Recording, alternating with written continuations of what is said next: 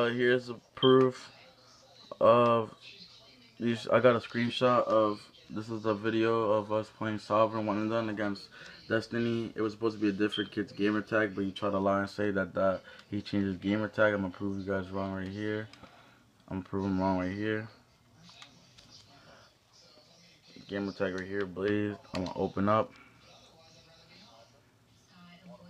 different page and everything and I'm gonna actually add the gamer tag that he was supposed to be playing on. And you're gonna see that it's false. Gamer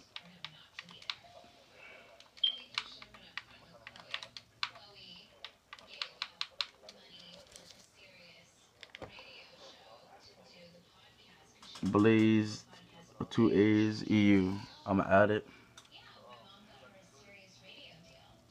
complete different profile you can see